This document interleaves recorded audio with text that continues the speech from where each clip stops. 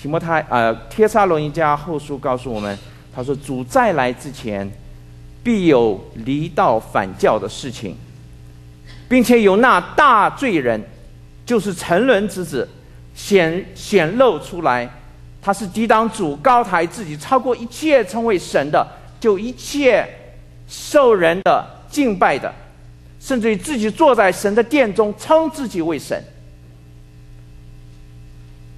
这是圣经告诉我们，指示我们，让我们提醒我们，将来在主耶稣基督来之前，将会有一位敌基督，他要成为世界的控制者，他要成为整个人类的所崇拜的一位，而且他要妄称自己是神。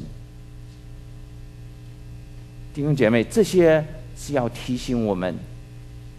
主耶稣再来时候要发生的事情，但不单主耶稣提到假假基督的迷惑，更是要我们提提醒我们要看国际的这一些的句式。主说：“你们要听到打仗和打仗的声音，民要攻打民，国要攻打国。”在过去这六十年之久，全世界差不多有一一亿的人口。一亿的人是死在征战里面，我们更是知道民打民，国打国。我们非洲，我们看到 Rwanda、Kenya、土耳其这些地方都有民主跟民主的征战，而且屠杀。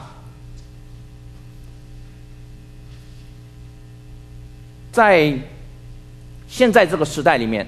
我们更是既面临了一个全世界性的一个征战，那就是恐怖分子所谈对给我们的一个挑战。世界有平安吗？教育、政治都不能够给我们这一些属灵上的问题的解决。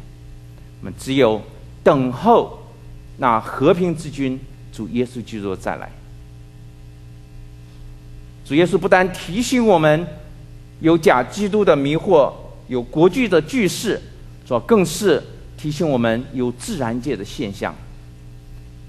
他说：“你们到处、多处必有饥荒和地震，自然的界害也指向主耶稣基督再来的那个方向。”世界年鉴。里面有个报告，他说，一八啊一八零零年到一九零零年，全世界只有六次可以测度的地震。一九零零年到一九五零年这五十年里面，它就有了十二次的地震，而且那后来的那二十年的地震的次序就加增一倍，在一九七六年那一年。世界上有五十次的地震，有这五十次的地震是在六点五级的地震里面，而且还有十八次是超于七级的地震。那我们在这里有没有看到台湾的九二一地震？中国的台山啊，唐山地震？这次的？温州的地震，上个礼拜四，冰岛六点二级的地震。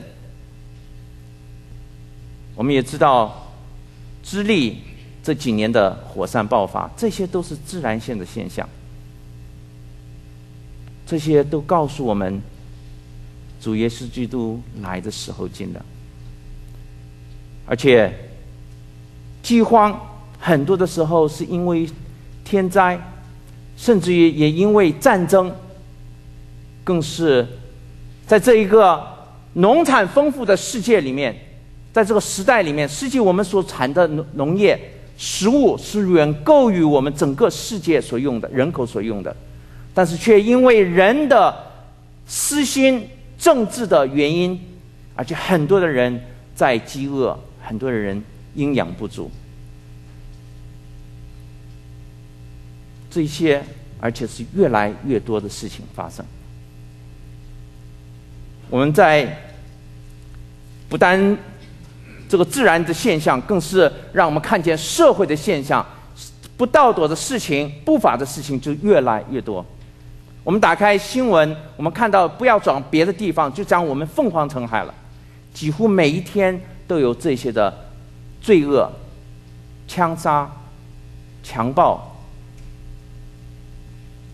还有一些不法的事情。任意妄行、自高自大，有金钱的外表，却背了金钱的实意。这些不单是影响到整个的社会里面，更影响我们每一位的基督徒。因为这些不法的事情越来越多，今天你我在神的面前，对神的爱心、对人的爱心，我们都打折扣。主耶稣说：“你们要看。”你们要查疑，这些事都是要指向我再来的时候近了。主耶稣说：“你们可以从无花果树上找学一个比方。当我们看到树发嫩结叶的时候，我们知道夏天到了。而主说：当你们观察这些的事情之后，你们也要知道我进了。主只提醒我们。”他说：“你们要谨慎，我们要在神的面前，我们要警醒等候。啊，警醒在神的面前。我查了一下新约里面对对关于谨慎的经文，在这里有几个我要特别提到的，就是圣经里面告诉我们，你们要谨慎，不要被不合理的学问所掳去。”怎么？你要谨慎，不要贪食醉酒。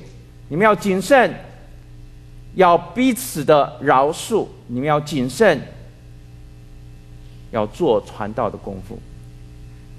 哥罗西书四章，哥罗西书二章八节，他说：“你们要谨慎，恐怕有人用他的理学和虚空的谎言，不照着基督，乃照着人间的遗传。”和世上的小学就把你们掳去了。我们要谨慎。